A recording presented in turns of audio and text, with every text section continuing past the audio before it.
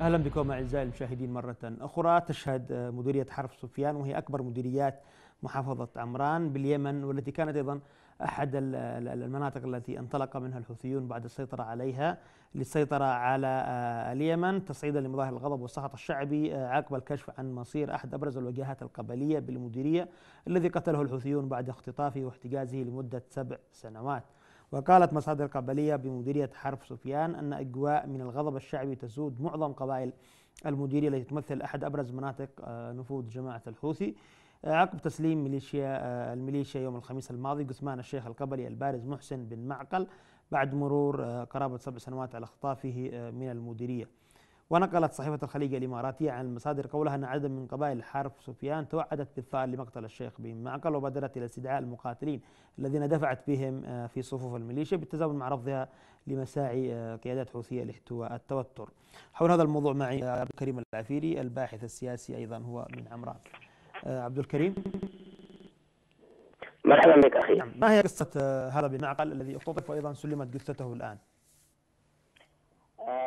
اولا اسمح لي أخي قبل أن أتكلم بالنسبة لعمران هي أيضا مقاومة للحوثيين من زمان وليس من اللحظة وكان الشيخ محسن معقل أحد أبرز المقاومين لهذه الميليشيات.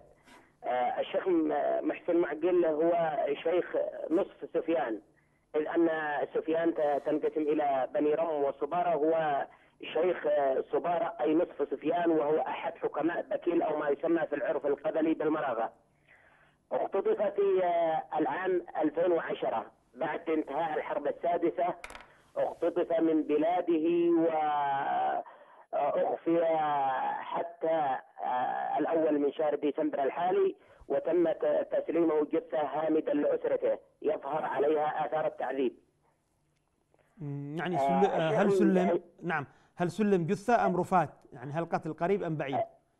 آه لم تردنا المعلومات الوافية ولكن آه الحوثيون لا زالوا يسيطرون على منطقة حرب سفيان ولذلك هم من قاموا بالتسليم وقاموا بالدفن أيضا حتى لا تتسرب إلى وسائل الإعلام أي معلومة عن الشهيد محسن معقل.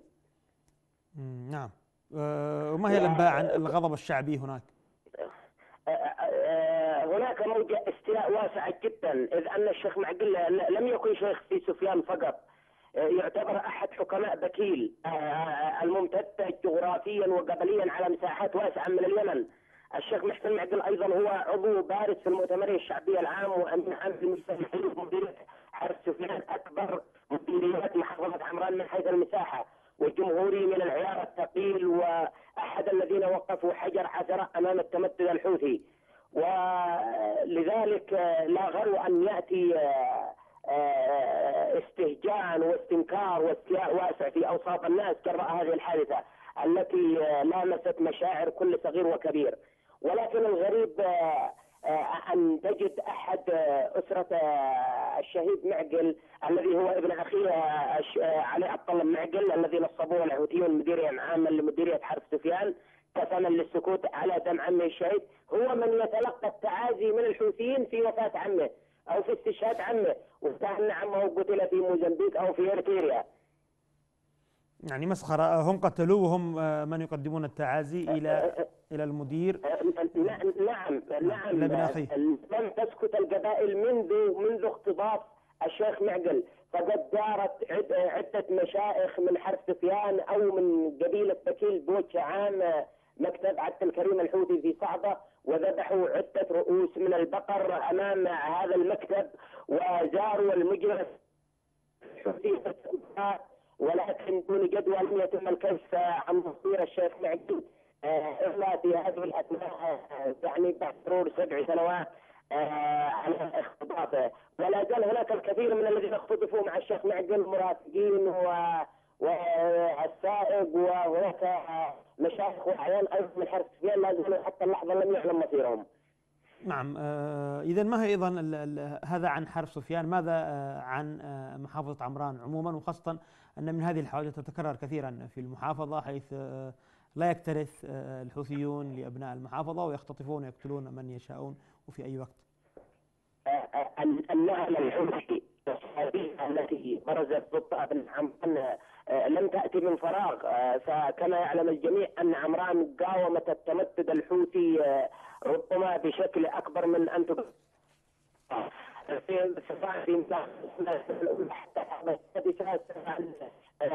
في في لهجة الذي هي مدينة حسان ومنها الشهيد محسن معدي الذي كان احد صمامات الامان لهذه المحافظة وأيضا هناك قام معه شيخ آخر الشيخ صغير بن عزيز ومشايخ آخرين. أيضا قبائل حاشد في خيوان وفي بنان وصمود عمران لمدة ستة أشهر أمام الميليشيات وأمام الضرب وأمام سواء التواطؤ المحلي والدولي والإقليمي التي حصل آنذاك. ولذلك دخلت الميليشيات بنهم انتقامي بشع وسادية قبيحة لتنتقم من أبناء هذه المحافظة، ليس الشيخ محسن معقل هو هو الوحيد الذي وضي عليه بهذه النهاية، هناك الكثير والكثير، قبل يومين حصلت حادثه زرع عبوه ناسفه لأحد أبناء مدينة عمران الشهيد فؤاد عافية في شاحنة كان يستقلها هو ورفاقه. وفوق ذلك اقتحمت الميليشيات دار بعد التفجير واروعوا الأطفال والنساء واعتقلوا 11 شخصا ممن قاموا بزيارة الجرحى في المستشفى. نعم من أين هذه الحادثة في أي مديرية؟